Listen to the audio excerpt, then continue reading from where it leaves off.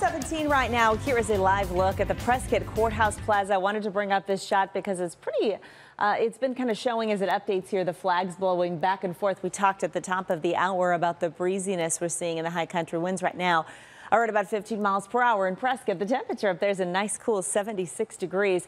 Upper 60s for Flagstaff and upper 70s for Payson. 75 right now in Show Low. We are in the 90s in the deserts of the state.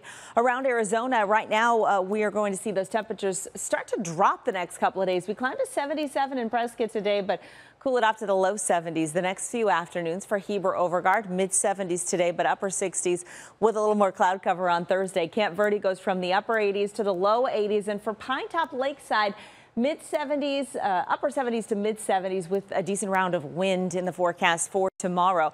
The wind is being driven by the pressure gradient or difference between high pressure that's sitting over Arizona and this low that's starting to move on shore in California. As this low comes closer to Arizona, the wind speeds pick up today and tomorrow, but it is also going to usher in some cooler air. What it probably won't bring a lot of is rain. Here's the latest jet stream forecast going uh, into today and into tomorrow. And we may see a little bit of that light rain uh, into northwestern Arizona as the system lifts up and away from us through Thursday. Slight chance for some light showers across northern Arizona as well. Uh, but mainly what we're going to look for is a cool down.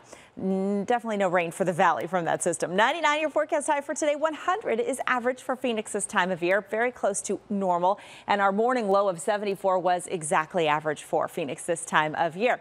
We're going to head well below average over the next couple of days as that cooler air moves into the state. So for the valley, that means we go from the upper 90s today to the low 90s. Not a bad way to end the month of May and head into June.